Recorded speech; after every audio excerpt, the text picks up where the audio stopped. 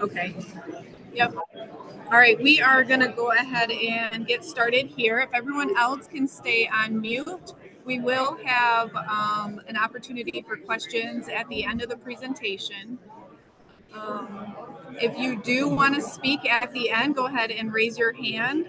We'll ask that you state your name and the address um, within the district before you speak, and then you can go ahead and address Scott. He will be presenting today, and then he will be able to respond to you.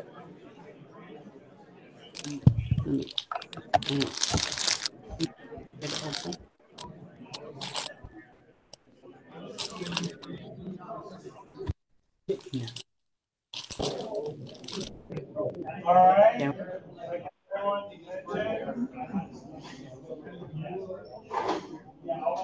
we're gonna get started here in a few minutes. So I want to do a super brief housekeeping. Um, I'm not terribly interested in turning this into a city council meeting where we're here till three AM. So, um, my part's gonna be fairly short, maybe 20, 25 minutes. Um, a lot of it is gonna be reserved for public comment and questions. Um, so I'm not sure what those will entail. But to that effect, um, what I'd like to do is, if you have an interest in speaking, um, I, hopefully they, they ask, we have cards where you can put out, put your name and address. I'm gonna collect all those cards when we go to the public comment part, and I'm just gonna go through the cards. You know, Jane from Pink State. And then you'll, you'll have an opportunity to speak for three minutes. I'll go through every card. Autumn over here, um, is running a virtual meeting as well. So I know some of the Zoom participants may have questions, so she's gonna read questions from the Zoom participants. And then we do have some, uh, people that were not able to attend tonight that, that emailed us the questions, so I'll also read those. So I'm gonna give everybody an opportunity to speak at least once, depending on what the demand is, and everyone will have three minutes.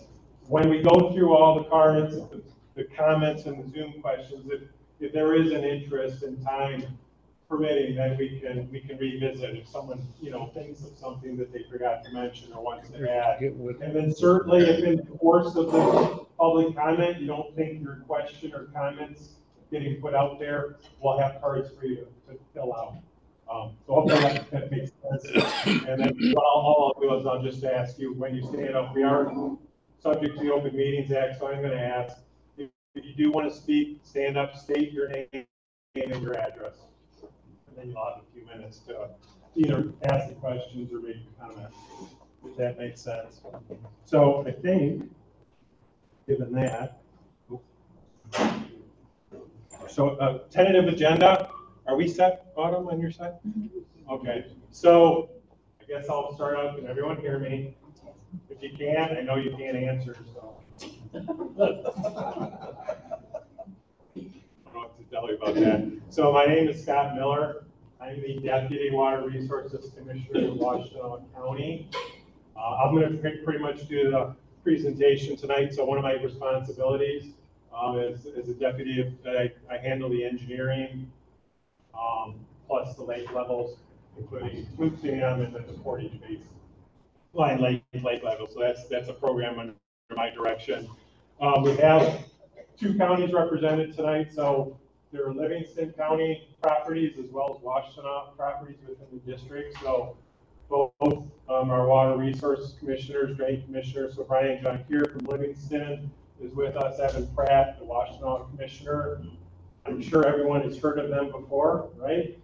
Your elected officials, well-known post, um, they're with us. I know Mitch from Livingston is with us. We did invite some of the local officials, like the, uh, local township, uh, board of commissioners, if, if- they're, they have an interest or were able to make it, if, if they're here, definitely welcome to all of you. And briefly, I will, I do want to recognize our staff, so Autumn, Kristen, Nicole, and Marcella are all the ones that really did the, the, all the work in pulling this together, getting the meeting together, getting the sign-ins, getting everything set up. So uh, essentially, we couldn't have done this without them. But what I wanted to do, and again, I, I don't have maybe 20, 25 minutes or so.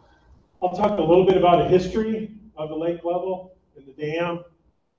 Uh, I want to talk about the dam, and the current status of the dam and the lake level. We had, we did have a dam failure um, early in the year, so I want to talk about that and timeline and the process to repair that failure. Um, we'll, we'll definitely want to spend time on the special assessment district.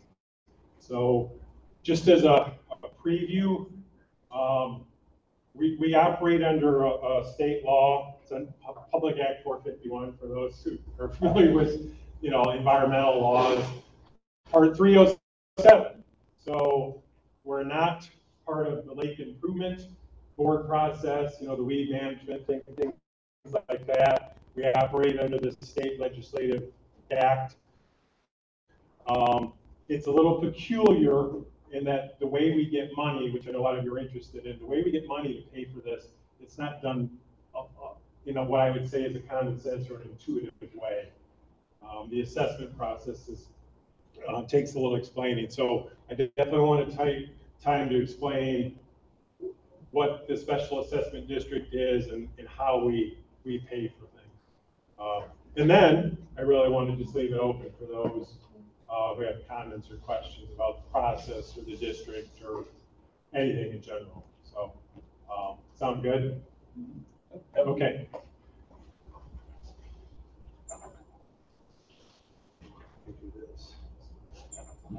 Um, I know not all, I guess I'm gonna, I, I had originally intended to say I'm not gonna read this because everyone knows how to read, but I'm gathering probably a good half of you or more can't read this. So, I can't read can't read it. Okay. So, so I guess I am gonna, you gotta forgive me, I, I got under that point.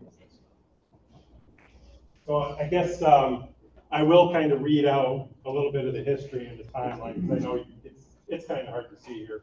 So, um, basically going back to our records, our archives in Washtenaw, um, we have eight books.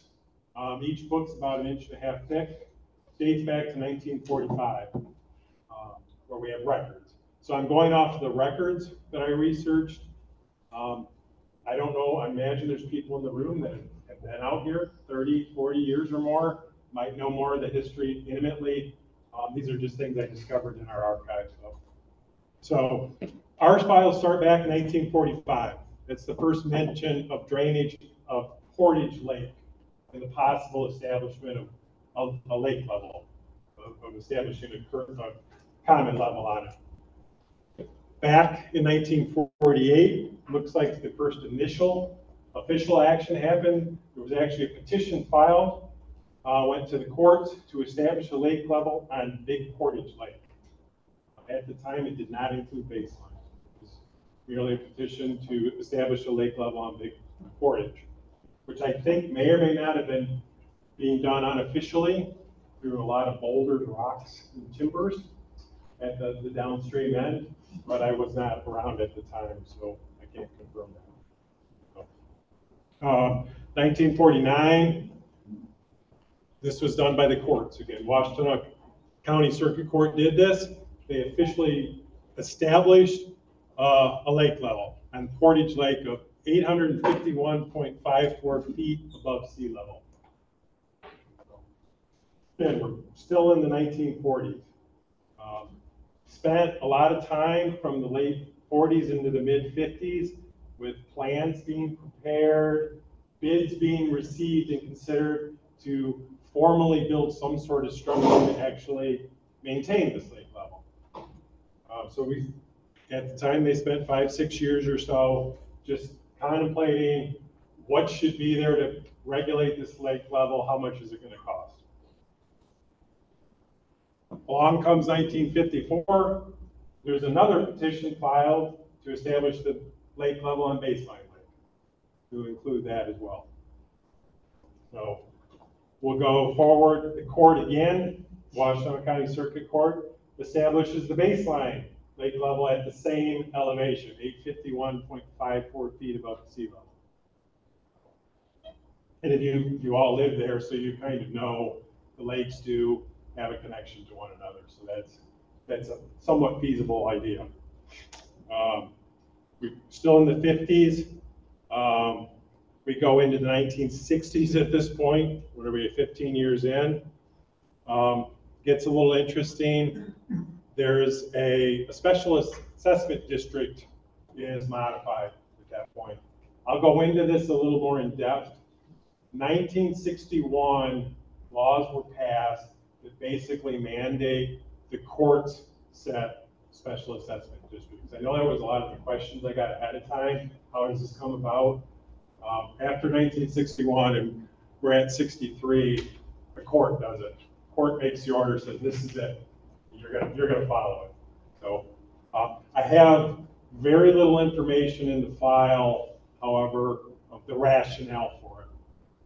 There's not a mention of, it should be up to this elevation of properties. It should be riparian ownership. It should be people in a floodplain. It should be people within so many feet of the lake. There's, in our archives, there's no information of why the district got set the way got set. It just shows up as a role. So, um, 1965, they finally issue a contract and said, okay, we're gonna put a dam in here. And we, um, did contracts, there had to be some channel work, so, so Huron River was dredged for conservatively a mile to help, help accomplish this.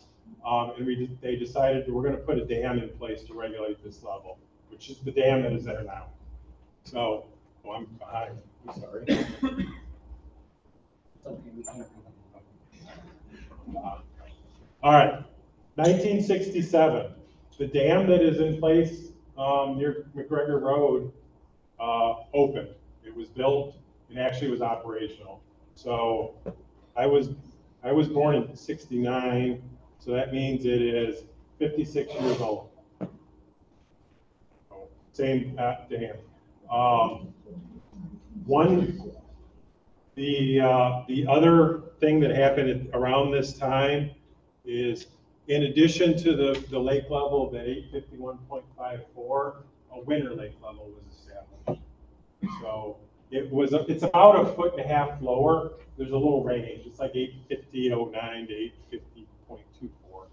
There's a range for the winter. Um, Court does not mandate when that occurs, but just for informational, operational, uh, information, we usually coordinate dropping to the winter levels around the time the boat launch, um, closes, the, the one around the bend. Uh, So when they close the boat launch in usually late November, around Thanksgiving or so, we usually coordinate dropping lake levels around that time frame. All right. Um, okay, so, um, from that date forward, Washtenaw County was the designated agent to operate the dam. So my office was, was tabbed to actually operate the gates and make sure the lake levels were maintained properly. And the way we work that is we, we tallied up our expenses every year to do that, charged or assessed people on their tax bill for the cost of it, and then sent Livingston County a bill, which then they further distributed to their property owners, pay for their share. All right, I still okay. Nineteen seventy-nine, that's, so we're about a decade in, we start seeing records and documentations of repair and maintenance. There was, at the time, if someone remembers, um, there were boat locks. There's a lock there at the dam. Um, we're getting evidence around that time frame that the locks probably stopped get, really getting used um, around the late 70s, 79 or so. Um, there is, we, we didn't do this, but we, we permitted it. There is a portage. It's like, no, so there's a portage for, for people with small boats, canoes, etc. that can get around the dam now, however. 1986, more repairs, more work on the gates. Um, back in 89, more, more work and repairs, the locks for the boat permanently shut closed down. They were in, not being used. Um, and then 1991, um, we had an interesting thing happen, is the elevation datums we used got updated, so they changed. So we used to use something that, we measured the elevation of eight fifty-one point four five four based on a datum that they call the NGVD twenty-nine. Back in nineteen ninety-one, that got revised and everyone went to what we call the NAVD eighty-eight standard. Um, It actually, there's a difference in elevations. And where we're at, that difference in elevation was about four tenths of a foot. So just for people that are interested in this, we, when we keep saying we operate the dam, we always operate based on the original court order. So we say, we're setting the elevation at eight fifty-one point five four. So it's the same level it's always been through the sixties, even when this datum changed. We didn't change the nomenclature. Uh, we changed the datum and how we, we measure it. If that makes sense, we, we still just kept using the old nomenclature, eight fifty-one point five four for continuity's sake. So the lake level didn't actually start changing then, but I know it's come up from time to time. People ask about, well, what about the datums? What about, what level are you setting it at? We're, we keep the lake level at the original court order at- of the time and have carried that through and made the conversion internally, I guess I'll say that. So, I think I have, a- uh, Autumn brought a slide up too that kind of illustrates that, so. Um, back in two thousand ten, more repair work, more work on the gates. Um, and then that led us up to twenty twenty-three, where we had a gate failure, and, um, two of the bays were taken offline. So that, that's that's sort of the brief history, um, of it. So here's the datum thing, I know this, you can at least see the lines. Um, but I, what I wanted to display here is, court order said the level should be here. The datums, you know, relative to sea level changed back in ninety-one. We're keep, we still hold to this line. It's the same line. It's just we call it different. Is all. I, I mean, I think hopefully the slide shows that. I'm sort of proud of this. Hopefully people can see this somewhat. This is our lake level. Um, we have an electronic control board out at the dam. So we, we actually have a gauge, electronic, it actually records daily while it's in real time. But we, we, we output it daily, um, the lake level. So just for you that can't see it, these are two foot increments. So this band right here is a two foot increment. Here's winter levels over here from like November, December through March, April, our summer level here. And then these, this is ten years worth of data on what the lake level's been sitting at, at the dam. Yep, That's where the gauge is. So two foot, we're probably holding the lake level. This, I had to say this because I'm kind of proud of it. We're of our office's operation. We're probably holding within three to four inches of the lake level any given day, even with all the storms, rain events, etc. So it's another common question we get is, is the lake level, well, we don't get asked. I get told, the lake level's too high, the lake level's too low. I've been told in the same day, the lake level's too high and the lake level's too low. Um, what are you doing? This is usually what we point to. It's like, I can't tell you what's going on in your dock, but I can tell you at the dam, the gauge, what the elevation is, and we're, we're usually pretty close. So. All right, here's the dam. I don't know if anyone's seen it from the downstream side. You can usually see it upstream pretty clearly from McGregor, the, the overpass, but from the downstream side, um, it's, it's a little more impressive. So there's essentially, there's five bays with concrete ab- abutments between each one, and there's gates on the bays. Um, they're radial arm gates for those that are super interested in it. But, so there's five gates, and they, they swivel. So they're, they're on a pin and they can swivel up and down. And it, it doesn't operate like I thought it would operate, so when we raise a gate up, it's not that the water has to get higher to get over top of it. What happens is when we raise the gate up, more water can go underneath the gate. So we relate, that's how we get the water levels down. We raise the gate to get more water out, and then the water level starts to decrease. So we actually have five individual gates to do this with. And normal conditions, uh, we do have a local dam operator who lives on Portage that can adjust daily. Our crew can go out, adjust daily. We tend to make adjustments, I'm gonna say weekly to bi-weekly, tends to be with one gate. Um, this, the, the lake is somewhat sensitive to that. I mean, we can, we can lower or raise one gate and affect levels a couple inches over a couple day period pretty easily. So there's, I'm not aware of a situation where we've needed to have all five gates in operation at one time. We usually just use the center one or, maybe a couple if we get a really big rainstorm. So a couple other things about it. There's an earthen embankment that goes around this. Um, to each side, it's about 400 feet long. I mention that because those that know about the Midland Dam failure, big one, it was the Michigan one few years back. That failure did not actually happen at the Midland Dam. It happened on the earthen embankment. Earthen embankment got a breach. All the water broke through the embankment. So, um, not to scare people that it's happening here, but, um, usually the, the dam itself are usually pretty structurally sound. It's the embankments we worry about, like, um, tree growth and other things, roots penetrating stuff that can destabilize it, so. And then for those that aren't sure, this, we can operate this dam up to a thirteen foot height. Normally, it's about nine feet, so it's about a nine foot drop between upstream and downstream.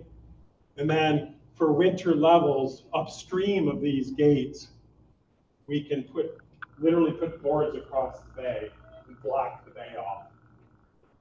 Which we do to protect the gates in the winter so they don't get iced up and, and have problems operationally. So that's an, that's also kind of a stopgap thing. If, if we're having a problem with the gate, we can sort of take that bay offline with these boards. Here's another, I think, I wish, I, I feel bad you can't see this picture because it, it kind of illustrates it pretty well. This is one gate. You can see there's like a pin here and a pin here, and this gate goes up and down. Um, we had a failure this spring where the armature that holds the gate in place, so the water is pushing against the gate, the armature behind it essentially had rusted to the point that it crumpled. The gate just swung down, it was going to break free, and then it got um, stuck or uh, basically hit the hinge pin and got, got wedged into the hinge hinge, pin. So you can kind of see it's got a, a tilt to it. Um, I, I guess I'll stop here and say, even if the gate is just totally ripped off and gone, we, we have an emergency action plan. So we did employ it. So downstream of us, Ann Arbor, kayakers, fisher people, etc. Um, we call Ann Arbor, we call their dam operators, there's four or five dams downstream on the Huron. We call Ann Arbor, we call emergency management, we call the sheriff. Essentially, they say, well, okay, let's get people off the river in case there's a, you know, a surge of water that could, could, you know, be damaging to somebody. Even if that had happened here, we're kind of calculating, it probably would have taken a number of hours for the water level to drop noticeably, even with a free release through one day. Um, so we had some amount of time. We had a person on site when this was, was happening. And then within the day, you can kind of see him in the background. We slid these boards in. Okay, we're gonna take the board, we're gonna take this bay offline, shut it off, uh, which is what we did. So, um, definitely concerning when you get that call, you're like, what? what, what happened? Um, but, um, we, I think we, we were able to respond quickly. I don't think there was a super high chance that we were gonna have loss of property or other catastrophic damage. And we acted quickly to get it sealed off. So, um, Upon inspection, because we, we have the dam regularly inspected, state requires it, and we, we like to do it just to make sure. So every few years, we do inspections. This is our year to do an inspection on it. So we were actually arranging for the contract for an engineering firm to do the inspection when this happened. So they kind of sped it up, went in and said, your other, other bay, bay five, the opposite one, it don't look so good either. You might want to take that one offline. So we took a second bay and put the boards in. So we're currently operating with the three middle gates and bays. Two far ones are offline. I've got, I'm on slide eight of thirteen for those that are falling asleep. All right, the repair. So, pretty simple. Concrete, for the most part, structurally sound. We don't need to do much concrete work, maybe a little waterproofing, a little sealing, spalled a little bit. But we keep on top of that through these regular inspections. Downstream, on the- downstream head wall, there's a crack that we've had a monitor on for 15, 20 years. It's probably migrated an inch and a half in that time, so we're thinking it's probably a good time to take care of that. Pull it back upright, get it anchored back into the, the bank. Um, as far as the bays go, pretty simple. You can take these gates off the hinges. They've been refurbished at least three times in fifty-six years. We're gonna replace them. Just have new gates fabricated. There's actually companies that do this. Um, So we're, we're, we're- we'll, we'll competitively bid that, but they'll go in turn, we'll put boards in, take the gate out, put a new gate in, and then do that for all five. That, that's essentially the repair. Uh, A modernization thing we've been talking about is, um, currently you have to be on site to operate the dam controls to move these gates. Um, We'd really like to probably have a telemetry unit so you can kind of sit at a computer and do it remotely. Um, You don't have to necessarily be on site. But we, we, we're considering doing that as well as part of the repair. So step one of that is people have to be able to go into these bays safely and not worry about an onslaught of water, nine feet of water coming at them. So we probably will try to do it when the water level is a little lower, when it's winter levels, like down a foot and a half. Um, the boards we use are just pressure treated lumber. Go to Home Depot. uh, A couple two by twelves together and slide them in. I, I'm not, I'm not real confident. I want my crew working beyond, behind two by twelve treated lumber. So we're looking into getting like three inch oak, something substantial that's not gonna bust while someone's standing in that bay trying to take care of these gates. That's what we're working on now. Anyone owns a mill, I did not realize how difficult it is to find someone to cut oak boards. Um, You would think, I mean, how many timber framed houses are there in America? You'd think you can get an oak timber pretty easy. We're working on that, so. All right, the special assessment district. Make sure I didn't forget anything here. Um, All right, got a lot of questions about this when, when the notices started coming in. Again, not, I think there was one in, in the mailing. Um, we, e- well, we mailed everybody in the official assessment district, the property owner. So every property owner got a, got a notice. We also looked at it and said, hey, there's some funny looking gaps in this that we're not sure why they're different. But they have deeded access to the lakes. They seemingly have the same legal rights as a lot of these other properties. Let's just go ahead and notify them too. So you may have gotten a notice because you're in the district, and you may have gotten the notice because we, we notified an extra couple hundred property owners. So then you might not be in the district. Again, set by the court. Um, so the way, way these assessment districts work is it's defined as a property that receives benefits has to contribute to the maintenance and operation of the lakefront. That's, that's really all it says. It does not say property owners. So that's why if you own three parcels, you could possibly get three assessments, because the idea is we're assessing a property that's getting the benefit, not a person that's getting the benefit. So that's someone like me, so I live in Washington, you know, if I went up to the boat dock, launched my boat and recreated there, I, I got that right.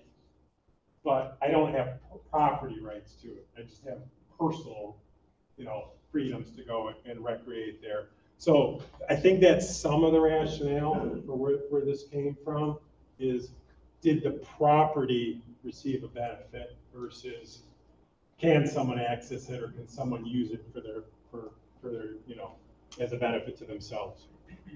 Um, there is a process to change it. So if we would like to get it changed, uh, it's a very, it's set out in the, in the statute. Essentially what has to happen is, we have two counties involved, so Livingston and Washtenaw. Both counties, Board of Commissioners, their ruling bodies, have to pass a resolution that petitions the court to reconsider the district. So BOC passes a resolution, says petition the court, we want to change it. The court then takes over, circuit court takes over. They then have to conduct a public hearing for all parties interested, not just the, not just the special assessment district property owners. Anybody that wants to come and offer testimony can. The court then will hear any testimony during this court hearing. They'll hear from the counties, the drain commissioners, water resources commissioners, their recommendations, their engineers' recommendations, and then the court says, this is what the district's gonna be. And- And, and that's essentially the process.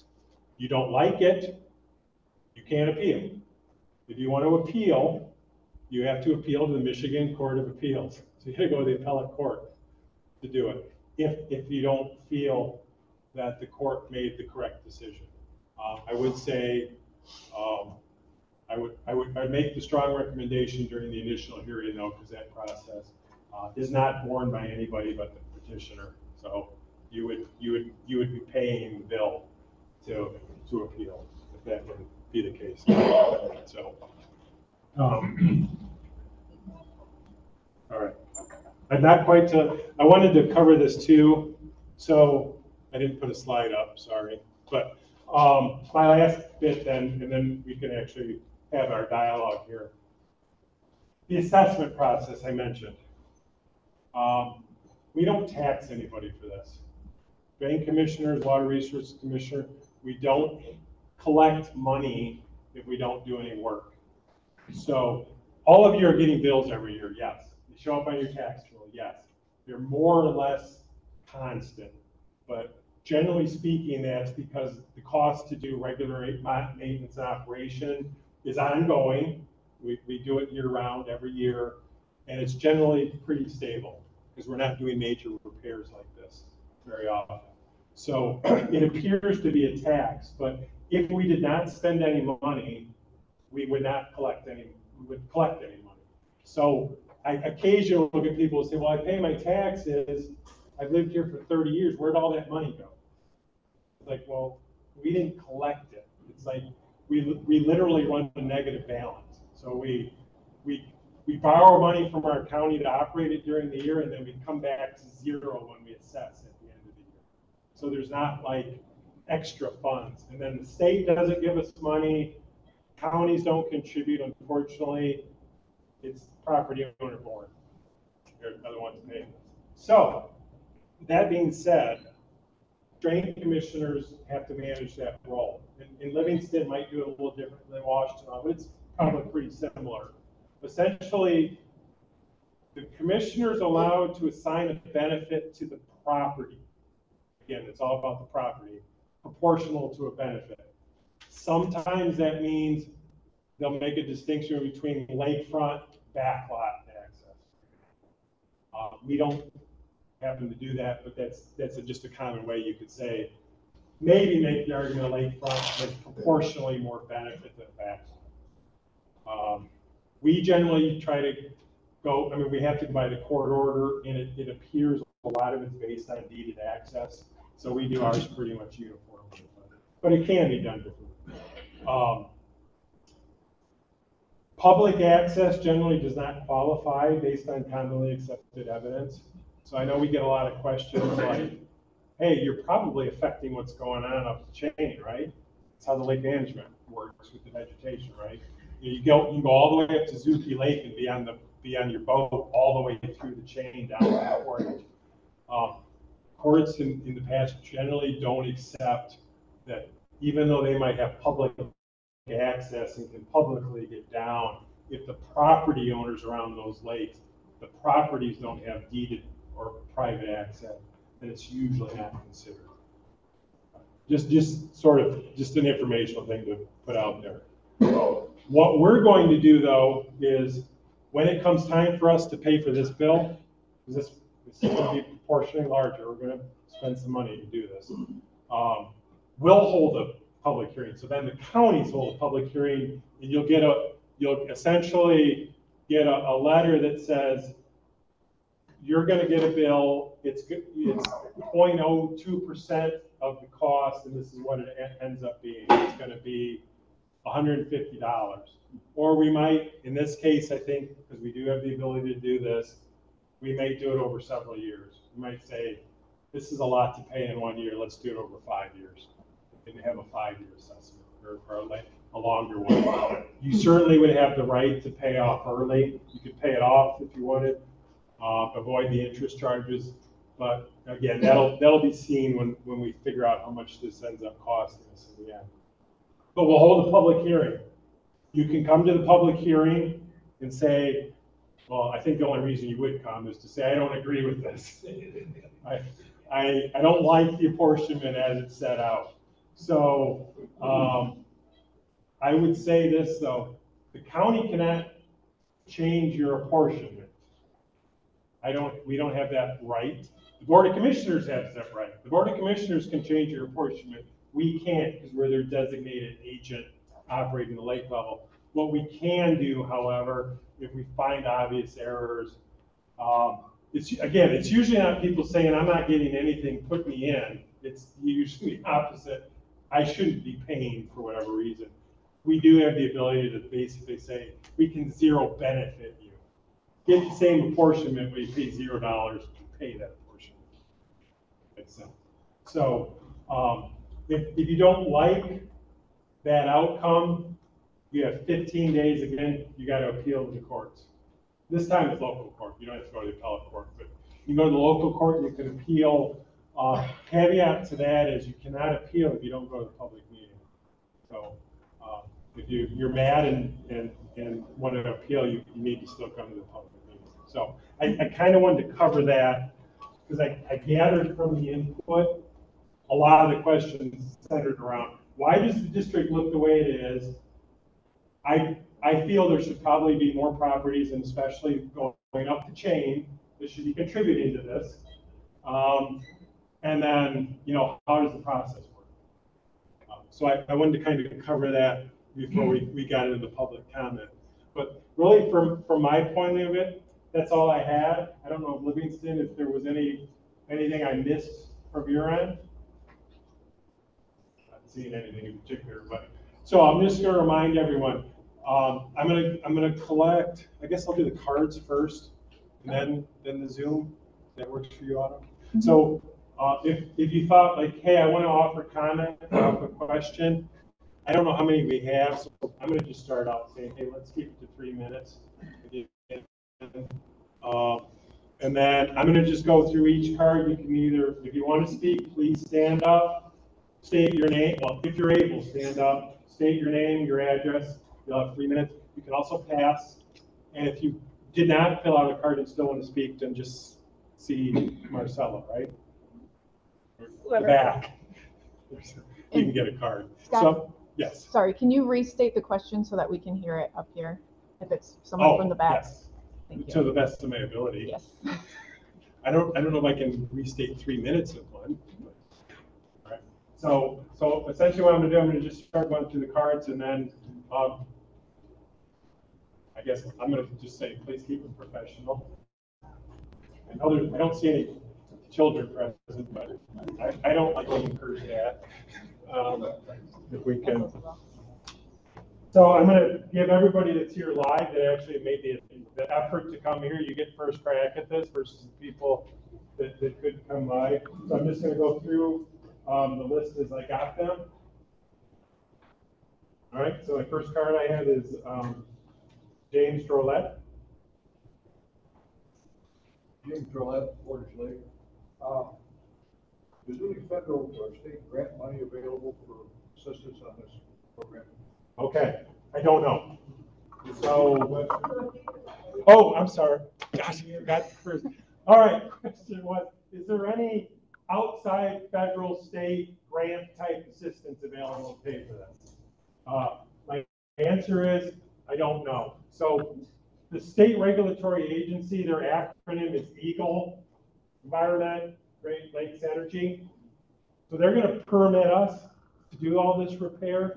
I'm in conversations with them about that. If, if there are some programs that would, um, we could apply to, to, to get some sort of aid. So, so we're, we're exploring that.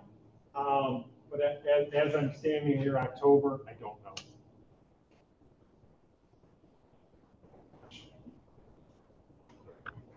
Um, the next name I have here is Tom you.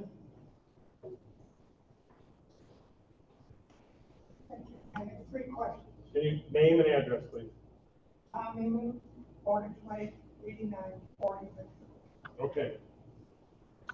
First of all, how does one get a copy of the PNL for this SAD? How does one find out what your income is and what your expenses? Oh, okay. So the question is, if you're in the, well, anybody, because we're a public agency, so transparency rules.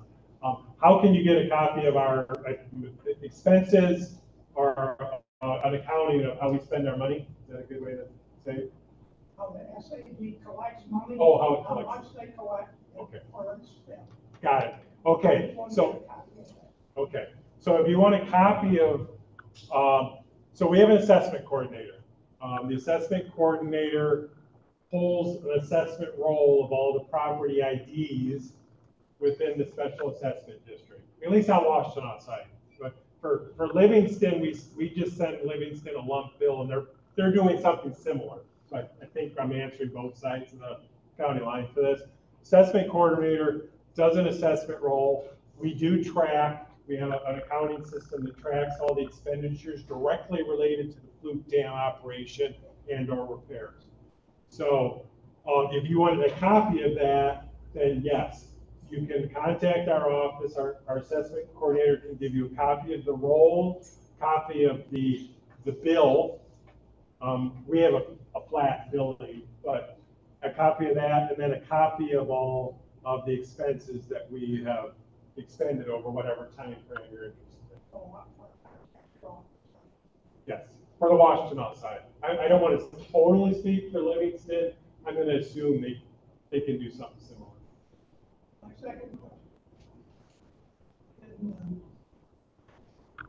1965, we established the assessment district in 855 based on the Muffin flooding and gone on in 1946 uh, 1957 or 1947.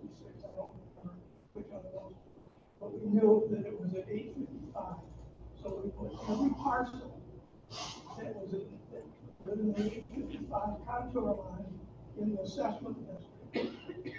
So that nobody, we thought, would- would challenge that and get out of it, because obviously we're gonna get a benefit from digging out the, the river from Base Lake down, the- down the road.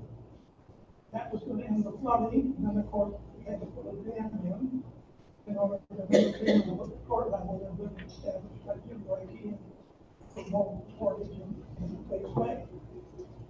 Initially, the DNR launch site was in that, but then for the first four or five years, it wasn't. I want to know if it's back in the assessment district, or does the DNR not pay an assessment?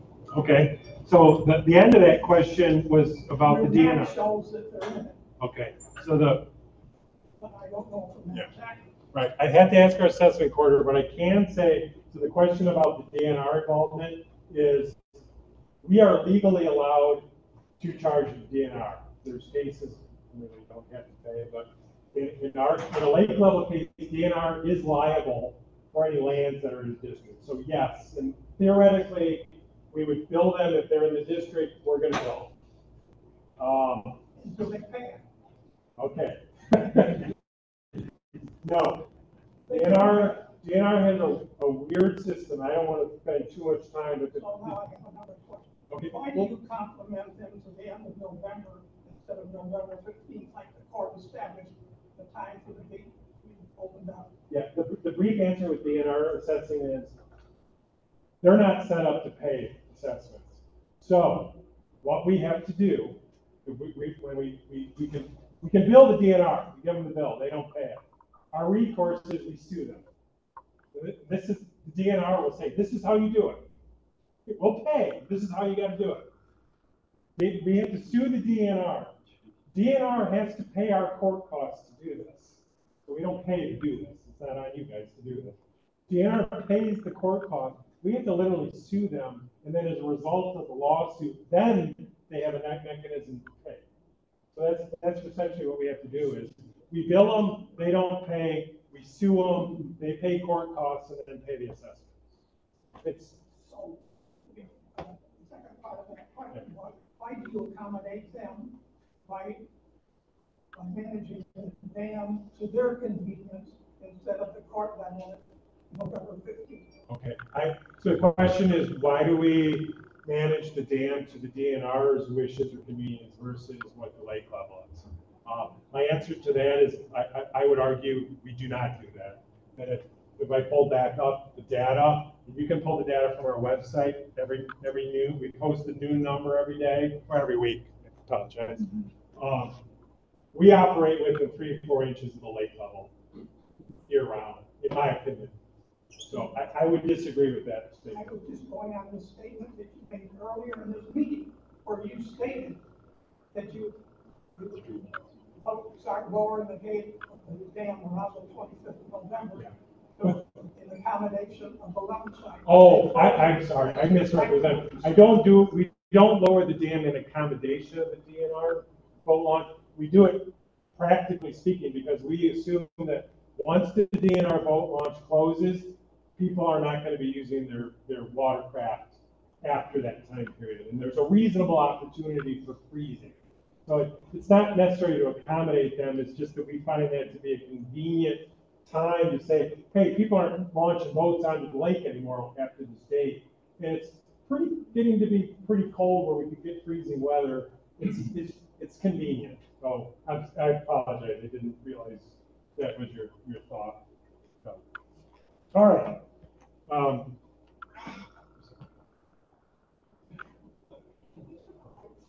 Do you, does that help? Can Marcella, it's actually behind you.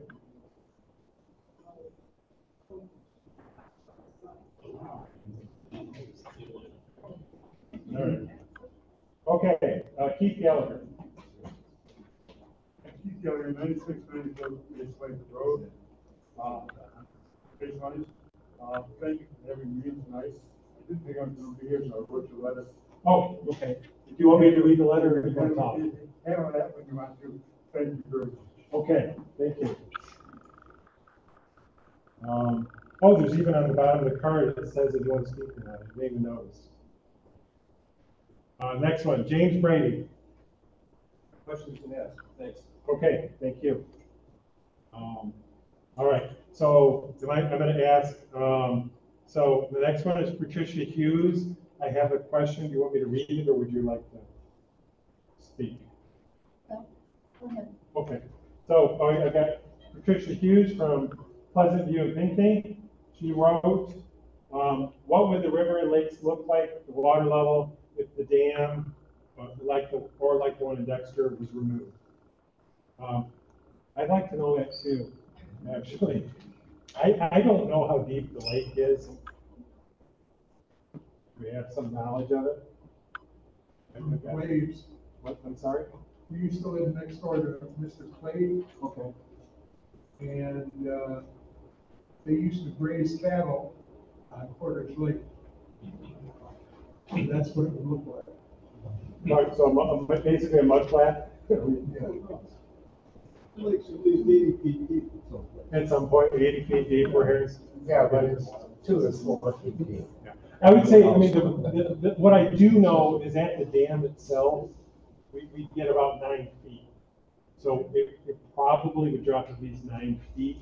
I don't know what that would do to the footprint of the lake. I live on Tamarack Lake, and I think that's spring fed, and so when you talked, tonight you talked about how Portage Lake was established and how Baseline was then added to it. How did Tamarack Lake get involved?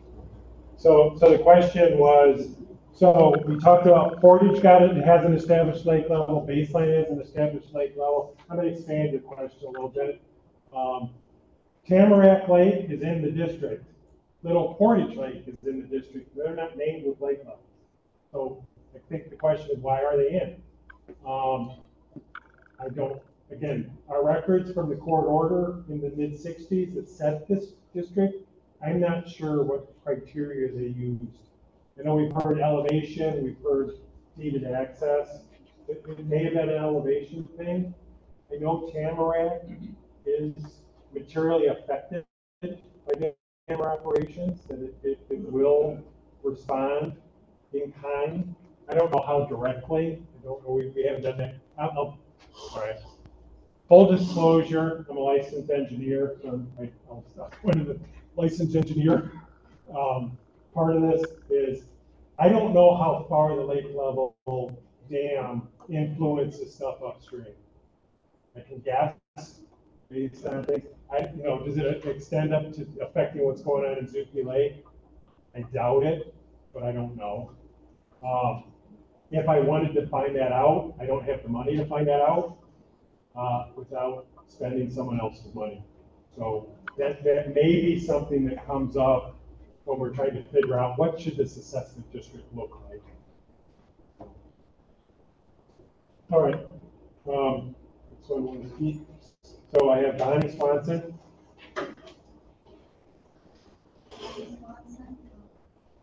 four six three Lawndale, on Tamarack Lake. And, um, if, if, um, Gallagher, Zukey, Strawberry are affected by the dam, I feel that they should contribute. And I feel also if we don't do it now, you know, it could be 20, 30 years, that if they are affected, we'll still be paying, the Four Lakes will still be paying the rent of the, the funds. So this was a, a comment, um, uh, that, that there is a feeling that the lakes upstream of these four are also affected, and it should also, properties should be sharing the cost of this. Um, we, I, I am gonna say, I mean, I don't think I'm, I'm breaching any secrets here, is, um, this repair is gonna be more than just your average maintenance. We're talking hundreds of thousands of dollars.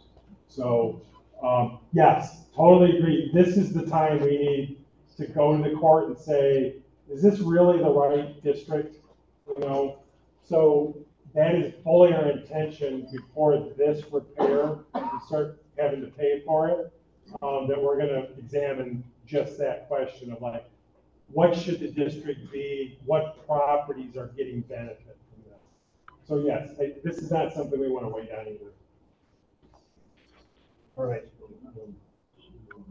Our next one, so Mark Teicher, I'll come forward, if that's okay.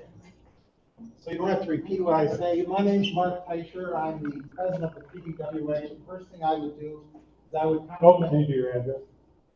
nine three eight oh Dexter Pinckney Road, Dexter Township. So being the PBWA president, I've dealt with both, uh, water resource commissioners for many, many years. I did compliment them. They have been responsive, their staffs have been responsive, uh, really good people. They assisted in creating the SAD for the invasive plants. The invasive plants, again, under the statute, was who's affected. So for the invasive plants, that originally was all the way up to Strawberry Lake, it was that homeowners, properties on the lake paid X, whatever X was, and anyone that had, that had deeded access to the lake would pay half X. So that was, I think, about forty thousand dollars to Liberty Title Company way back, and that information's already, uh, been done. So that would be an easy thing to figure out. Uh, It appears certainly, uh, and speaking for myself, not the PBWA, but that in the same way that if, if properties are going to benefit from the dam being redone, that if everyone pays a share or a half share and money is distributed more evenly, uh, uh, it really seems like it's fair. I bought the Riparian magazine, it happens I'm the vice president of Michigan Lakes and Stream Association that deals with dams across the state. And I ordered a few extra, and I have about uh, fifteen of them on, on my table in a cardboard box, and I wanted people to take them. If you're a PBWA member, you get it as part of your membership, but if you don't, please take one, because you can then see the MLSA website, and you can go through all the archive uh, information and articles about dams, and it's a real education uh, about dams, uh, the court cases and whatnot. Uh, Secondly, I tell you that as an attorney, I've assisted organizations around the state in creating uh, special assessment districts dealing with dams and basic plants, and amending the size of the SAD is not that difficult or complex. So I, I think it, it can be done, uh, relatively easily. Of course, when you deal with courts, I'm not sure anything's relatively easy depending on the judge. Uh, otherwise, um, I would, I would tell you that, uh, Washtenaw County has been kind enough at PBWA, they've allowed us to do several dam tours to our members, and we walked across the dam. It is a lot of power, it is loud, uh, it, it, it is a lot of water, I think it, it, yeah, I would agree that, that there's a danger in that amount of water from trying to repair it. Um, but it's a, uh, uh, certainly a necessary thing. So otherwise, uh, I'll leave the box the table, the magazines, and, thank you. Thank you. You, you brought up a good point. I, I didn't mention this, but, um, we do, we, we have, you know, uh, safety signage and buoys and stuff upstream of the dam, trying to keep people off. But some of you might remember a few years ago, we, last time we had an incident where some of you, you've seen those, um, those are like the aluminum boats with the outboard motors. Um, we did have, have some, some, some boaters, um, lost power to their boat, and the boat, um, ended up drifting against the, actually not the abutment, but the, there's an I-beam where these, these boards sit upstream of the dam. Just to demonstrate what, what he was saying about the power of it. Um, when I came back out there a few days later, the aluminum boat was one hundred percent folded over that I-beam, completely crushed down into a space of about a foot. I mean, it, it, it, there's a lot of, you don't notice it when you're upstream, how much power that water can have, so. Sorry for the aside. Um, um, John Toigo? Thank you very much. Uh, Doing a great job, by the way. Uh, John Toigo, uh, eighty-two nineteen CJ Landing, Pinckney, Dexter Schools. Uh, Thank you everybody else, for- I heard a few of my questions already answered. I did, I did note that there are about twenty dams in the Huron, what I think it's called the Huron River watershed. And one of the things I'm wondering about is, how are those other dams, uh, managed? And are they assessed to uh, private owners in the same manner as, as what's proposed here? Or are those somehow on the public road like, uh, like streets? Okay. Uh, so the question i- i- is in regards to the other dams up and down the Huron River watershed. There are some, I think that might be right, there might be upwards of twenty. Well, it's 20, but- Yeah, that sounds about right. So we're a part of, so we, we operate one dam on the Huron River. We have other dams on other, like Rill Run, for example. We have one dam on Huron River that we operate in Washtenaw. Um, Ann Arbor operates like five. Um, it's a little bit of a hodgepodge. So how are they operated? Who pays for all of those? We have something, um, we, we, we have a dam operators network. So we meet a couple times a year. I'm part of that for our group, where we coordinate with all the other dam operators. So like, for example, if, if we have to do something unusual when we do this repair, like we wanna, we gotta take the gate off and, and have a bay run free release for a while. That's where we get with the dam operator network and coordinate all that. So downstream, Ann Arbor can go, okay, we're gonna ex- expect an additional inflow of water. We can make adjustments. We do the same thing in very, very unusual rain events, when we get these five, six inch rain events. So there's a net, network that we try to coordinate and work together so people aren't working against one another. As far as who pays for all those, I'll actually say I don't have that kind of knowledge. I think it's a, it's a varying patchwork. I mean, I think Ann Ar- the citizens of Ann Arbor pay for some of the Ann Arbor operations. I don't know about all twenty though. I think the twenty that I'm looking, that I saw, uh, my online research, was all heading up towards the, the origin of the so it's all, that be, north of us. Yeah, I wasn't looking at anything south of us. Yeah, there's some south. Yeah.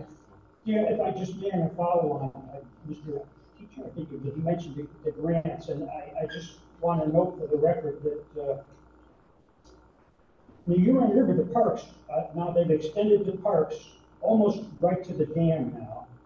So it's my sense that not only are there benefits to people upstream towards Zukey Lake with respect to the, to the Huron River and its management, but downstream as well, it seems to me that besides DNR capitalizing on the lakes, we have Washtenaw County and the whole Huron River Park System, which is capitalizing on the lakes and the maintenance of the, of the watershed as well. And I note that they spent about eight hundred thousand dollars in improvements just recently along that parkway to include over a quarter million dollar in grants that they got from the state of Michigan and from the DNR. So I feel like under those circumstances, there should be something that we, we, we can do. Yeah, I, I, the question, um, kind of surrounded about the city of Ann Arbor and some, and some grant opportunities again. And I, I don't know how optimistic I am, but I do know one of the good things that happened as a result of the Midland Dam failure is there was a, a much broader recognition that this sort of infrastructure needs care and upkeep, up, you know, upkeep.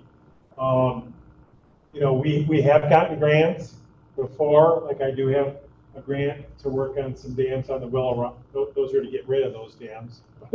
But, but, um, I- I think to your point, whether it's, you know, National Wildlife and Fisheries, whether it's EGLE, DNR, I think that's something we definitely want to explore if there's some opportunities that would be applicable to a lake level dam structure and its rehabilitation.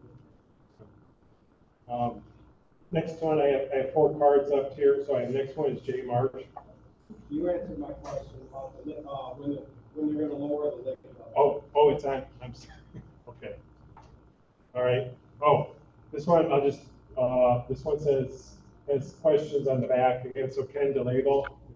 Sounds like I would read it, or do you want to say? Uh, Ken DeLeo, twenty-seven ten Village, Northside Base, like to answer the assessment question on the back, but have another quick question. Okay. Um, how many approximate properties are in the assessment, and what's your timeframes to start, um, the project?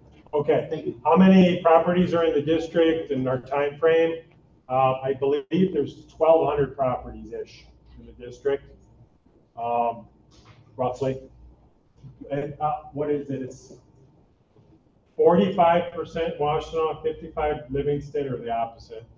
It's- somewhat equal between the two counties. It's 55, 45 between the two. Um, and then the timeline, um, I'd, I'd like, I don't, I, I'm, again, I, I'm having trouble believing it's so hard to get white oak milled. But, um, I'd like to put the, the permanent, like the, the, the sturdy boards in. I'd like to do it with the lake level lowering in, in November, although I don't think that's gonna happen, because I, I can't seem to find a mill that's willing to cut, cut three inch oak for me. Um, The idea, however, would be, we would, our engineering firm would lay out a timeline where probably by mid next year, we have the, the repairs accomplished. Thank you. Right. Um, Other one, Uh, so Kristen McFay, do you want me to just read, or do you want to talk? I'll read, I guess. So Chris McFay on Bayview Drive in Pinckney. Um, has a, a- a similar question. Why would a special assessment district only consist of portage and baseline lakes? The special, shouldn't the special assessment district also include Tamarack, Whitewood, Gallagher, Boone, Strawberry, and Zukey? Uh, if the dam fails, wouldn't that affect their properties as well? I think we kind of addressed that somewhat, really, so. All right, last card I have, so I have, uh, Mark Ford. Uh, Mark Ford, eighty-nine twelve Riverview. I live next, next to the dam. And so I'm wondering about what your contemplation is of the work that's gonna be done. Will it, you know, be mostly on one side or the other? That property that's next to it, so I'd like to kind of understand what you're thinking. Yeah, I would suspect, I, I mean, we haven't really thought through that yet. Um, probably talking cranes, bringing in, bringing in a crane to do this, so, uh, I will, we have, we have easement access, of course. Um, I would, I can state, well, question is, how, how would we affect the repairs when it comes time to do it? Um, we, we probably are gonna access through the U of M property.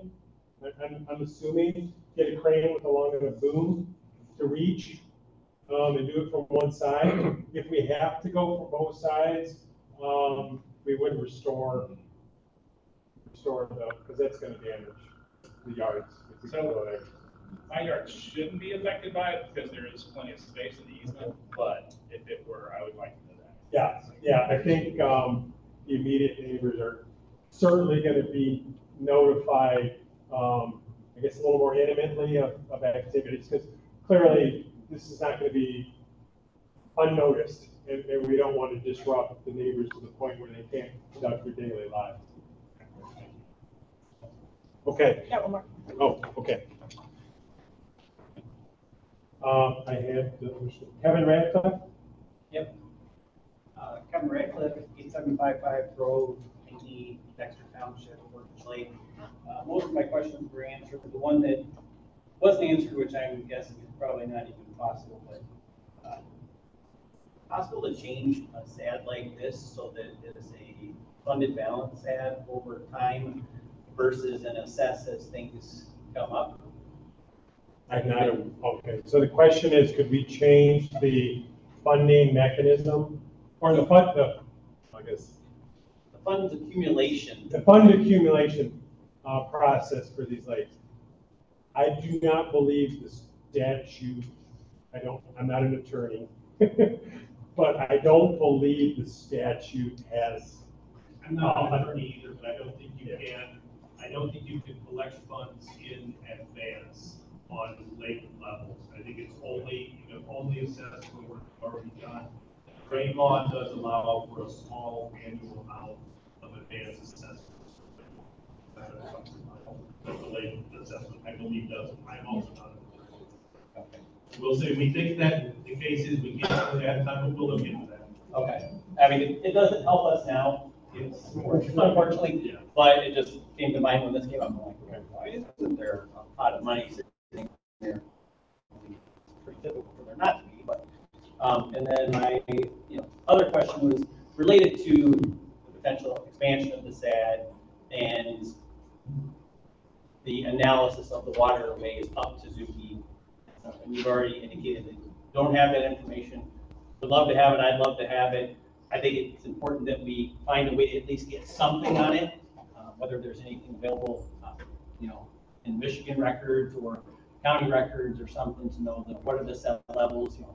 Obviously, remove the dam and drop nine feet, that's gonna affect everything, but are they really getting a benefit from the eighteen inch up and down, you know, that we do, uh, you know, semi-annual basis?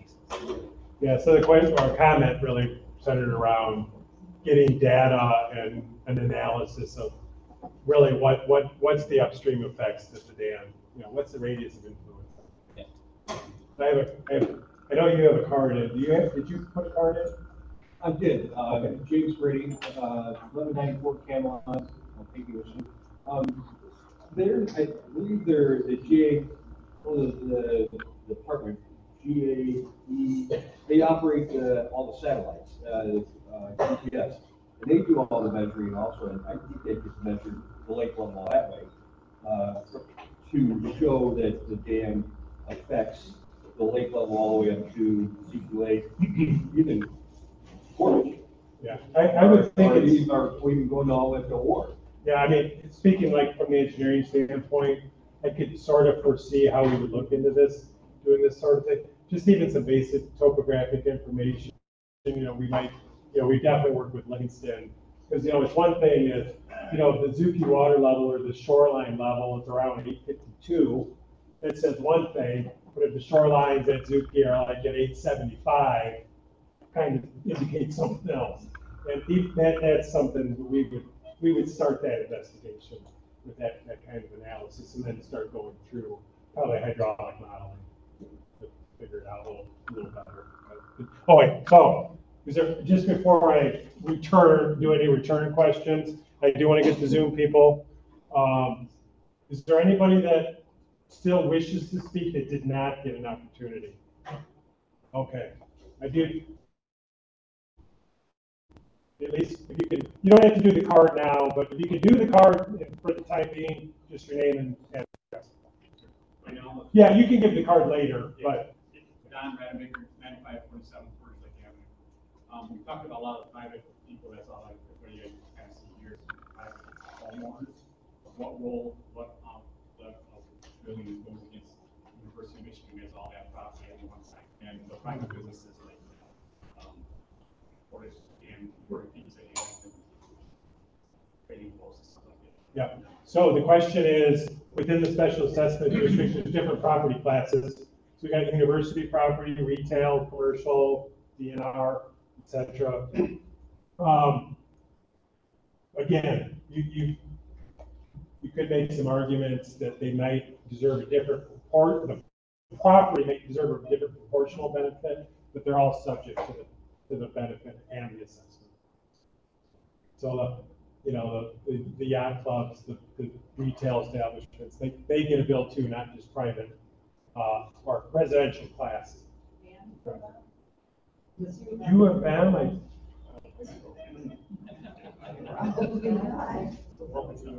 that's, I didn't want to have to say this, but I'm, gonna. that's one of those, I'd have to get back with you on that. Do we have another, yeah, we have, Just quickly. we- we Name- name and address. Oh, Dale Herring, ninety-five sixty-nine Portage Lake Ave. In the past fifty years, the maintenance has been taken care of. As you said, where you do the maintenance and send the bill to the county or whoever, and then they reimburse you. At what point in time did this not become that? What, is there a dollar amount that triggers this? Um, so the question is, so for fifty years, we, we operate the dam, send out the assessment for a bill to Livingston, they pay us back. And then I guess your question is, how, how or if that has changed? How is it different? Um, going forward or currently, I guess? Yeah, why, why would it be different going forward? It, it, not, it wouldn't necessarily be different going forward. I think because of the magnitude of the monies involved, now we're thinking, we should look at this. That, that this is the time to look at it, because it's one thing when you're getting a nineteen dollar bill at a year.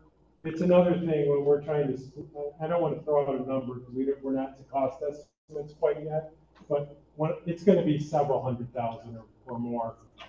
I- They're just the magnitude of things is why we're, The magnitude of the property value in that fifty years is it's gone up a hundred times. Okay, so tax revenue from those properties, you know, Well, Ed, I guess to your point that, that despite whatever the property values increases are, and despite whatever the tax base value is or taxable values, we don't realize any of that. so I I understand that So- the maintenance Yeah. fund is, is generated by higher tax revenue. No, it is not.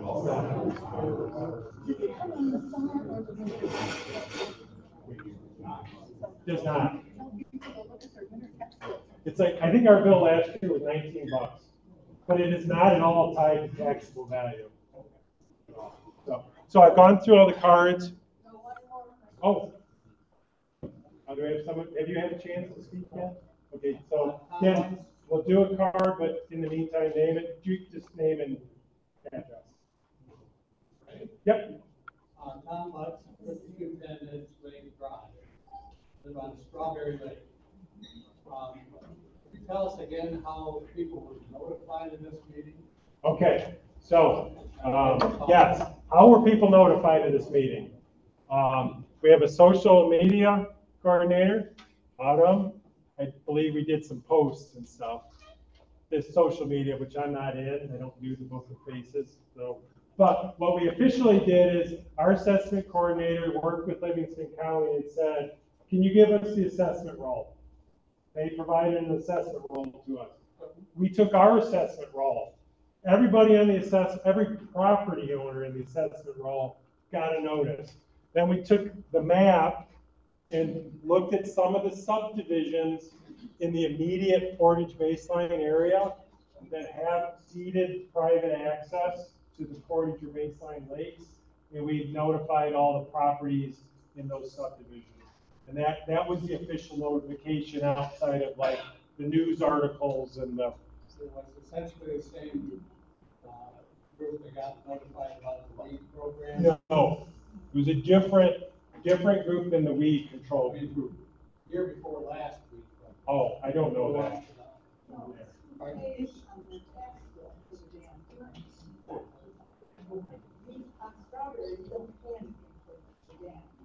No, I understand that. I just wondering, upstream, Yeah.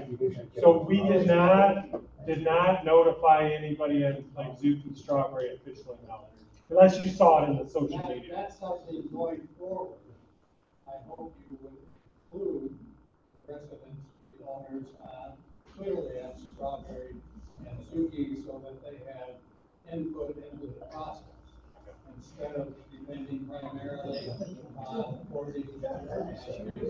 Okay. So then essentially we have a comment that, uh, perhaps we should have notified a little farther the chain. uh, Finally, who is the decider for Livingston County? Is that the county or the township? The decider of what? The decider. I'm not, I'm not sure. One forty-four.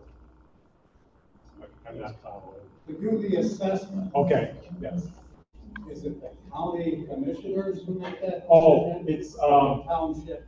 The, the, the, I'm sorry, Brian, I don't know if you're a drain commissioner or a water resources. Great, okay. So the drain commissioner, Pardon? the drain commissioner. Drain commissioner. No, it's the cert, it's the search court. Well, no, the assessment. Right, but they- they, he's not part of it. Right. So in order for him to be part of it, it would require a change to the sandwich. Require the court to decide, and there would be public hearings, and everybody that was affected potentially would be notified. Yeah, I don't know how the court would notify for that, how they would decide what, If they were gonna include him in the SAD, they'd be required to. well, part they of the wouldn't. I don't think they would, they wouldn't hear testimony until the public hearing, so I don't know. If- You know what I'm saying, I don't know if they would know in advance, like, should, how far should we go? Right, You know? well, that's I mean, part of, when they did the public hearing there, they would have to propose what the new SAD would be, and they would, if you're gonna be impacted by it, they would have to notify you. So you could have a chance to have a voice at the public. I think we got two different questions here, because we're talking about the assessment, and we're talking about the amount. The Drain commissioners, both counties determine the amount. No, well, the the drain commit, we, we do. So the district, who pays is set by the court. How much you pay, we don't set how much you pay. We just decide, we just take whatever we did spend and then pass that bill along. So we're not choosing how much to charge you. We're just, we take our accounting and say, we spent this much here, and then yes. The drain commissioners then actually do the bill, collect the money. And- and You it- you can determine based on this, how much it's gonna cost. No, So towards the end, what we would normally, well, what we will do is we're gonna competitively bid, get the lowest responsible bidder for these repairs. There's, we're gonna enter a contract with them. We're gonna borrow money in some fashion, because we don't have the money in advance. So we borrow the money, to do this, or borrow the money, and then, then there'll be the public hearing where you get, if you're in the assessment district at that time, you'll get the, the notice that said, here's your apportionment, what, this is your share, you can come to a public meeting. Borrow from the DNR, don't pay it back. I'm gonna, did you, I have a card, I have cards for you, all right. did you talk yet? I did not. Okay. so- Um, Mary Beth Timmerman, one one five nine eight Cedar Bend Drive. So can you talk a little bit about the timeline? So there's a couple things I'm hearing. One is, um, the work that needs to be done on the dam, and then the other one is basically who's gonna get assessed. So if both counties have to pass a resolution and petition the court, that's one thing. Yeah. And the dam repairs, the actual repairs, that's another thing. And then how they're gonna get assessed, that's even another thing, right? Yes. So it's the end of October. Can you walk us through how and when all that's gonna happen to do something on the dam this winter? Because that's like coming up pretty quick. And this sounds like a really long process. So, Thank you. so the question revolves around timelines of how, how and when is the district gonna get examined? How and when is the dam gonna get repaired? How and when are we gonna be looking at like meetings to get assessed? Um, I'll be honest, I'm not, I, I've been at the county twenty-seven years, I've never done this.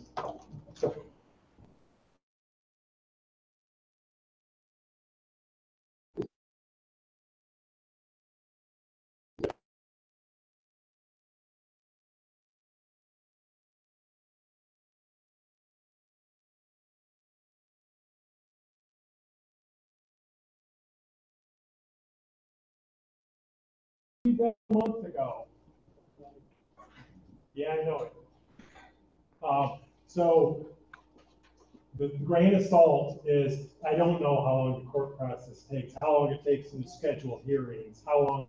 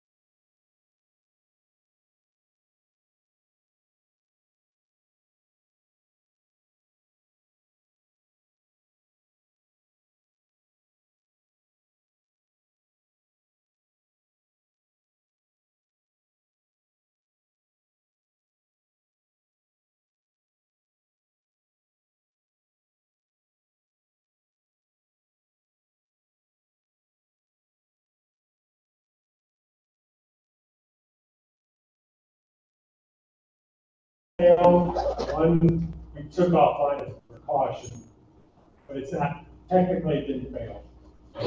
Just to clarify that. Uh, the other three gates, uh, um, are in similar condition to the other. So the timeline is proof. Um, as an engineer, I mean, I don't panic because I, I mean, we look at these worst case scenarios, like what's, if worst case scenario, a gate blows out, what we're gonna do is, we're gonna go there within a couple hours, we're gonna put these boards in upstream of that gate, lock it off. It's, it's, it's probably, it maybe drops the water level three, four inches.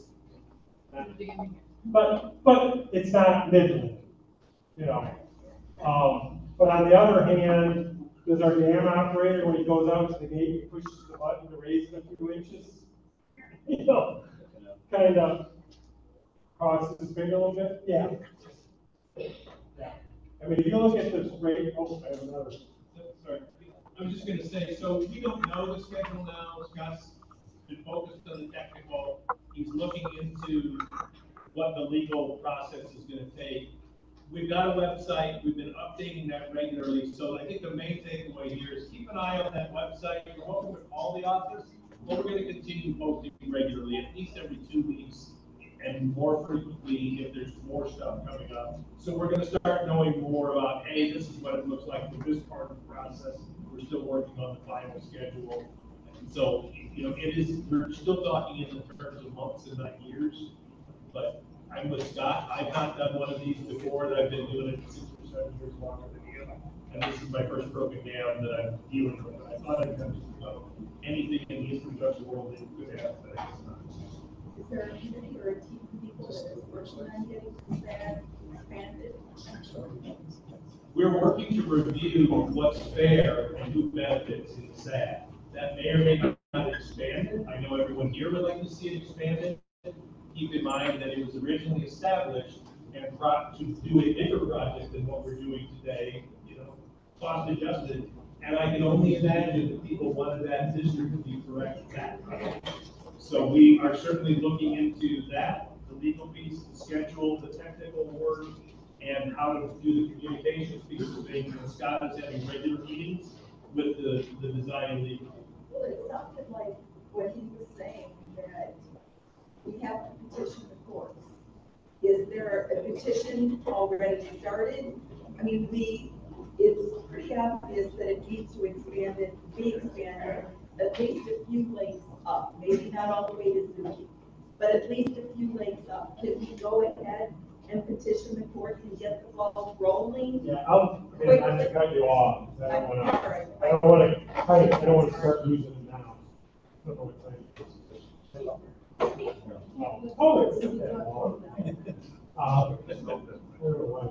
I just- I don't know. Um, yeah, the petition, again, remember, so both counties, two counties involved, both counties need to pass a resolution to petition to the court. So yeah, that's, that's where we're starting now on that, yeah, great, like, we're having those talks, definitely with the, the commissioners whose districts involve these lakes, certainly they, they're the, you know, the closest to it, they would champion anything that we're gonna put on the board agenda. Um, but we also want to have our ducks in a row, because we don't want, if the court surprises us and says, hey, we're gonna have a hearing December sixth, and, and we don't, like, have a proposal for them on what the district should look like, we're gonna be scrambling, and so we're gonna try to suss that out. Sorry, but you went, I listened for I went to. You went through the entire district, but then. Your lake levels and Zukey, Strawberry, Delaware, and sixty-nine was built, they affected their zero.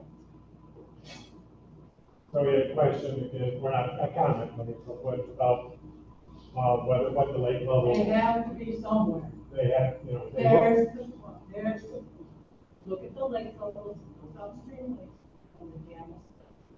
I, I guess I would- That's what it is.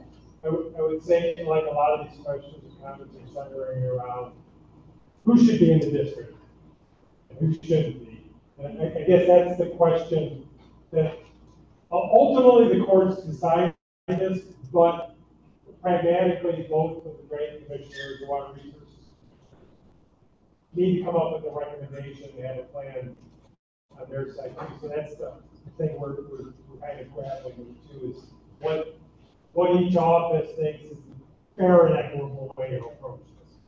Um, and I, I don't know if any one of these suggestions hit it exactly or not.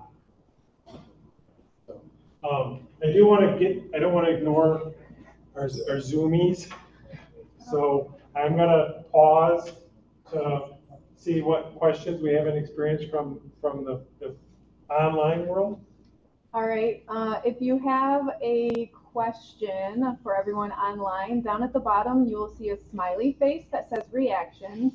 Go ahead and click on that and, uh, raise your hand. I'm going to start with the people in the chat. If you did not put in your first and last name and your address, um, I'll just call you out and you can unmute yourself and, um, feel free to ask your question or just provide your last name and address, and I can go ahead and ask your question for you. So we're gonna start with Sue. Did you get your question answered?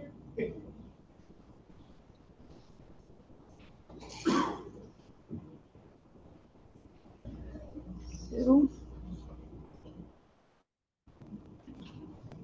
All right, we will move on to uh, Neil Borowski, uh, 5108 Edge Lake. Two questions. What are the ratings, good, bad, fair, et cetera, for dams throughout Michigan? And the chart for Portage Baseline Lake over 10-year period, how far back this data exists for lake levels? Okay, so we had two questions, I think they're somewhat new. Um, The latter one was, how long do we have data going back, back for with the lake level where we tracked it basically daily? Uh, I think thirteen years, I believe, where we electronic, where we can, the computer tell us to the hundredth of a foot what it was. So thirteen years of data, the first question, I gotta be reminded, I can't believe it. The dams across Michigan, the rating. Okay, so this is a good one. So about how dams are rated. Um, Lake level structure is regulated by the state. This particular dam, we're required every three years to have an engineering inspection on it. The inspection report uses fair, satisfactory, poor type of language to describe condition of the dam. So they don't use a numbering system per, per se as like good, fair, poor, satisfactory type of thing. And then they provide a recommendation in their report for actions that they perceive need to happen in the next three years. All right, next we have Josh. Josh, did you want to provide your last name and address? You can go ahead and unmute yourself or, or put it into the chat. I'm trying to get on board with this, by the way. My children are much.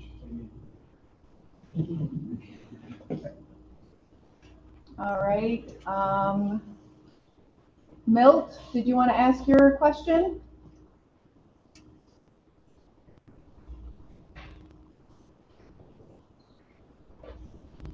All right, we have Jim Sita at one one one nine zero Algonquin. If the total estimated expense is four hundred thousand and there are twelve hundred properties, the cost per property would be three hundred and thirty-three dollars per property. If this is billed over five years, the cost would be sixty-six dollars per year.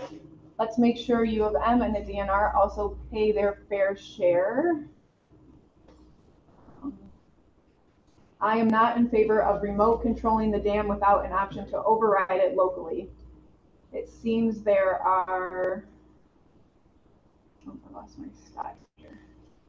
It seems like software gets hacked or does not work properly all the time. The Yeah. sooner we start, the better. Yeah, I'll answer a later. So there's a question about possibly remote operations at the dam and some concerns. I think they're very rightful that we, we lost control of that, that somebody could do bad things to us.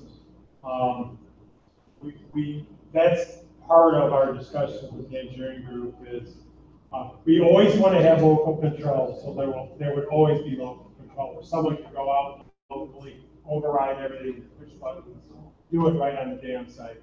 And we have a local operator of Portage that could, could get out there quickly.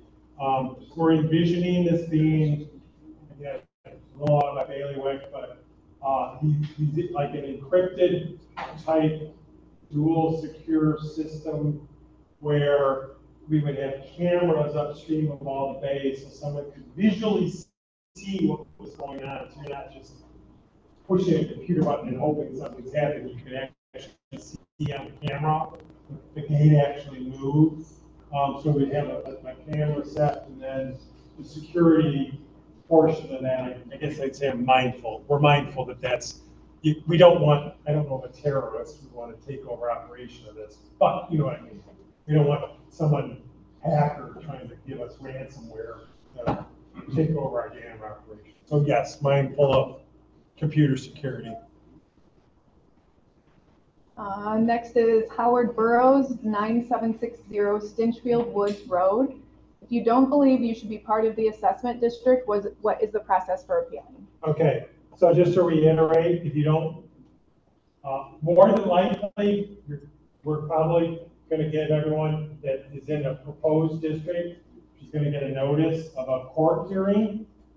Um, and on what a new district is going to be. If you want to appeal that, then that's the one I talked about where you have, to you have to go to the Michigan appellate system, you have to go to the Michigan appeal court to appeal. That would be the process for, if you're in or out. If you want to appeal to what your number is, that's the county level. You have to go to the hearing first. You have to go to hearing. Like a property. property. I think, I've never done that. You have to contest it first with the township. Uh, Howard goes on to say, I'm in one hundred percent in favor of remote operation. It allows for much more uh, precious and much lower costs. Most of the concerns relate to cost. Let's automate.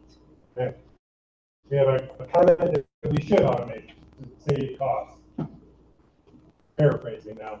Um, then we have, um, Adam Miller. Adam, can you provide your address for us? Yes, can you hear me? Oh, yep, we can hear you. Yeah, 8685 McGregor. And my question, and first of all, I just want to say thank you for the presentation tonight. It's been in, incredibly informative and really appreciate the work you do on behalf of the county and the state. And just two questions. What is the current estimated total of the cost of repair? And secondly, I want to say that I fully support that our dam is up to standard and rated at the highest quality. Thank you. Did you hear? Oh. He wants to know, um, the estimated cost for repair and then, um, fully support that our dam is up to the highest rated standard right now. And thank you for the presentation. Okay, thank you. Uh, and how many people do we typically get online? Uh, about seventy-five. Got about seventy-five people online. I know, I, get some people get a little antsy, so I just I appreciate that fact. Uh, and again, I'm not, I, I work for the government, so I'm not really that offended if you walk out on me. Okay. So, um, one of the questions, reiteration of what's, what's an estimated cost? Again, I, I don't know of a time where I have not regretted giving out an estimate when I wasn't pretty confident of what, what the final number was. So I, I am gonna punt on that and say, we are, uh, we're looking at several hundred thousand up to a million or so. It's gonna be a real broad range, but, um, it, it's, you know, I think now we, we, so your nineteen dollar bill for those in Washington, we, you could probably do the math anyway, but, um, I think we spend in total twenty grand or so a year roughly. So for twenty grand, if you get a twenty dollar bill. We're talking magnitudes higher. I, I'll just, let me finish through these uh, All right, I do not see any more, um, questions in the chat and I don't see any hands raised. Did anyone else have any questions or, or comments to address?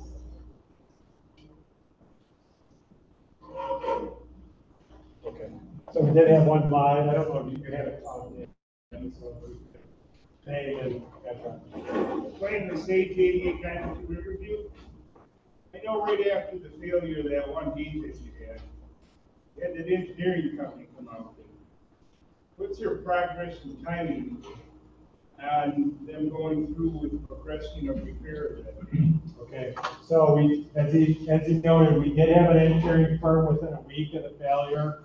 Spicer Engineering is the company that's familiar with them. Uh, out at the dam site with the structural ex- experts looking at it. To date, um, they have provided us a proposal with a full task list, like task one through fifty-five, this is all the stuff that needs to happen. Here's the scope of work to get you from step one to fifty-five, which number fifty-five would be damage repair, done. Um, scope, timeline, cost estimate, and it's in my court now, it's in my hands, where I'm analyzing that, deciding if I think it is a reasonable quote, um, and a responsible use of your funds, to enter into a contract with them to, to do that. Um, I would say, not giving away too much, the only question I have right now is, I'm a, I'm a little skeptical of the cost to put these outboards in. The cost to me seem like they're higher than what they should be. And I'm trying to, I'm right now, I'm exploring, literally calling up the Yellow Pages lumber mills going, can you mill three inch oak boards for me? Going through that process. Because it's, in my opinion, it's as simple as, I just need a three inch board that's a certain length. Um, So that's, that's essentially where we're at. So if I, once I exhaust that avenue, then it's just, I'm gonna execute a contract with an engineer. Who makes up that, uh, decision for the approval of accepting what they give you in post That, that rests with. Is that through your office? That's me, me in our office, yes. Is there a reason why you couldn't do steel stop blocks as opposed to? Okay, wood? 'Cause it sounds like that's, that, Yeah. the wood seems to be a, Okay. at least a stumbling block. Yeah, so one question is, can we use different things than wood? Different Like, material. Use aluminum, metal, steel. Um, I, I don't get super into it, yes, we could. Um, my initial quotes, I'm just, you know, initial quotes, put steel, uh, boards in, over seventy-five thousand. Okay. My, my initial quotes to get oak boards in, sixty-five thousand. I, I'm just, this just seems insanely high. Yeah, I, I can. I, I, I'll just, so when I was a teenager, I did, I was a timber framer. I literally, that's what I did. I, we got nine by twelve oak timbers. And I know they didn't cost those sixty-five thousand dollars for us to put up a timber frame bar. I'm a little stuck. Okay, thank you. All right, um, I've got, I got two live questions. Everybody got to talk once. Zoom got to talk once. Um, my last one, um, just, did Doug, is Doug on here? Yes. Did you get your questions answered? I, I think, s- I'm not sure, but I think so. I, I don't know what ones you picked out on. Maybe it is, yeah. All right, is, uh, Christy Meyer here? Okay.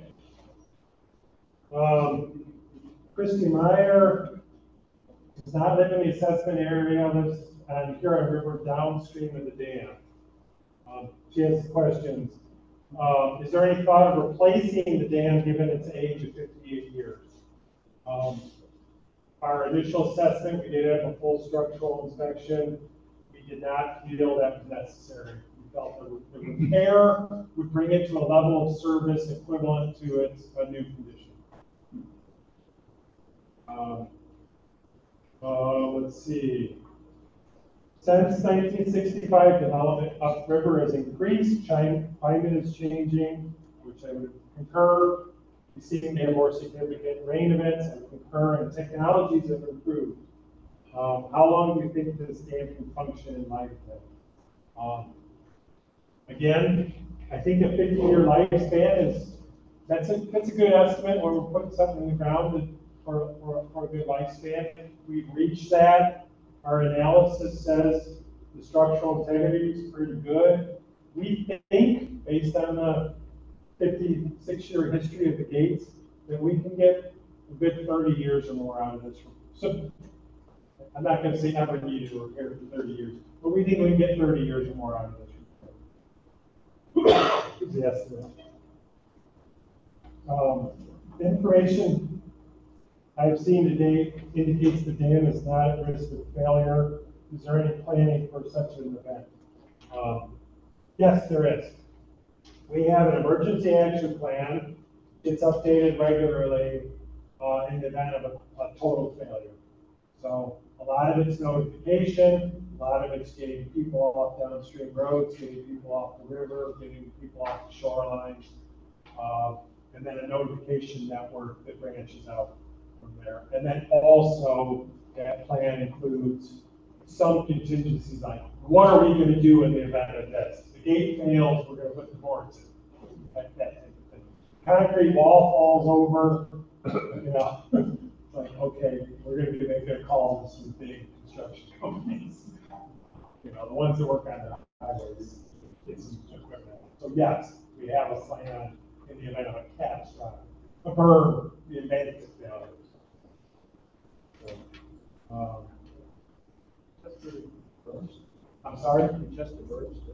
They, they inspect the birds as part of the inspection. Because you don't want like, you know, gophers and animals burrowing into it, and like, like, um, willow trees, for example, their root systems seek out the water so readily, they really mess up the, you know, the integrity of the water tightness in the berm. So yeah, that's a part of the inspection, making sure the berms uh, are, are looking bad.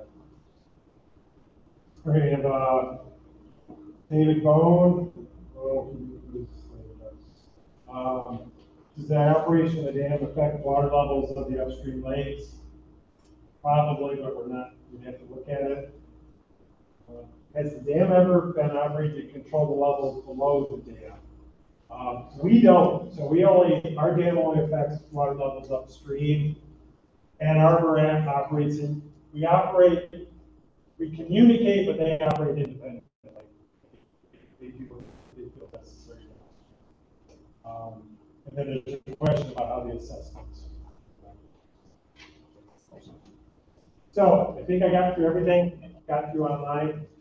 I'm, I'm gonna say, prob, is it probably reasonable we make it till nine if there's any other follow-up questions? So I'll, I'll, I'll say, I know we have at least one, and then we'll try to wrap up by nine. I have a question. Okay, so I know we have. Fine.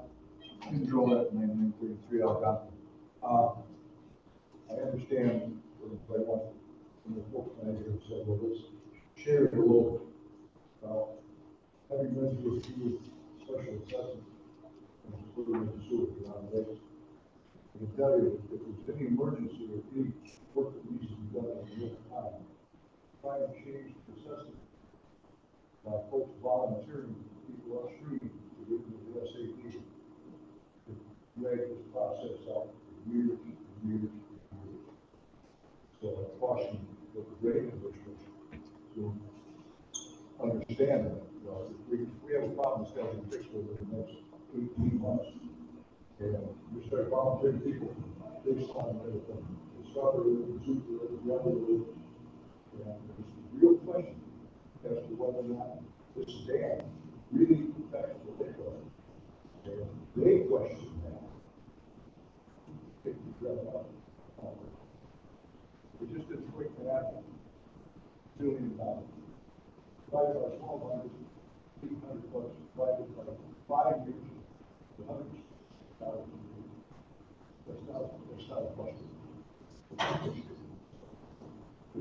careful what you wish for. Volunteer for somebody else to get the They're not here today. Defend themselves or stay in the position. Now today, we've got people reading this. And why don't. And the water is the front edge of the gallery today. And uh, the instructions, the the. It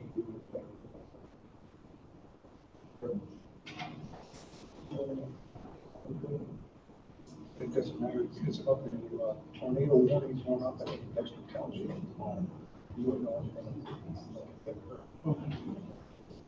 I've got that. There was a notice today that one of the, uh, sirens in the township is having a problem. And that's why the sirens are going on. Individual, individual things. Okay, so it's maybe, this is maybe a public thing, so everyone that's local and heard, I guess there were tornado sirens earlier today. There's Several. There was a question, it sounds like that someone found out that they were having some technical problems with the, with the alert system, and it wasn't, um, a, a result of an actual citation. Keith Younger, just follow, um, while it may be difficult, it seems that there is there. And if we can get some data that finds us the truth about the extent to which the folks upstream are impacted, not only in the summer, but letting the water down in the river. That data says that maybe more people should share. Is fair. The second thought is,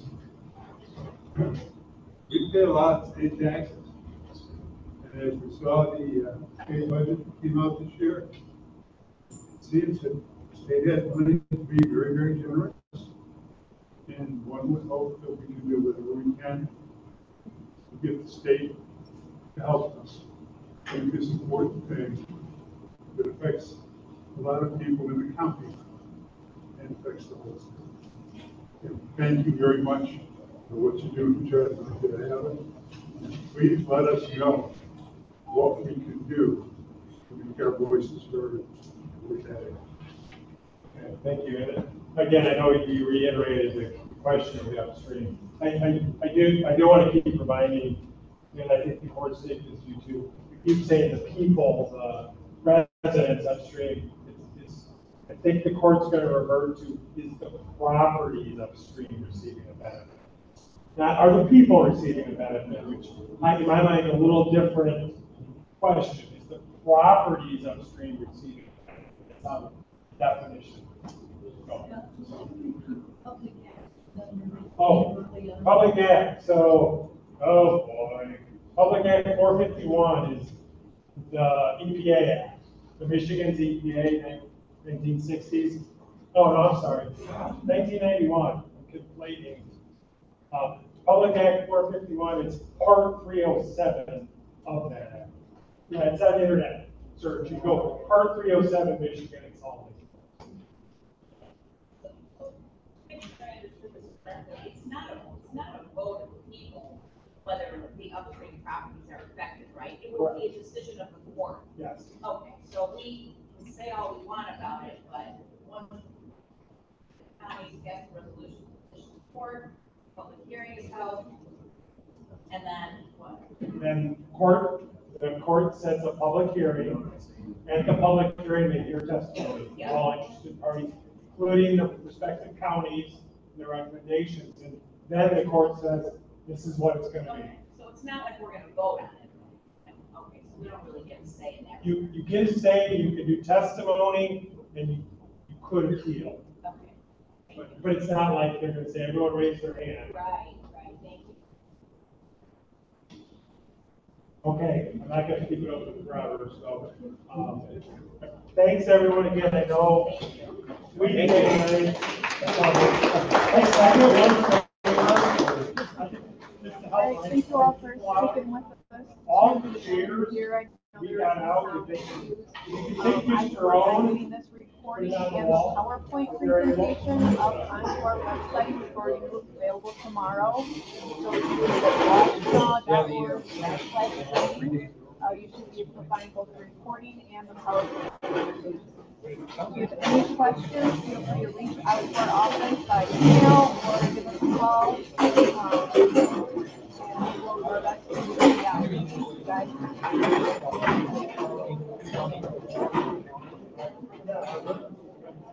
you.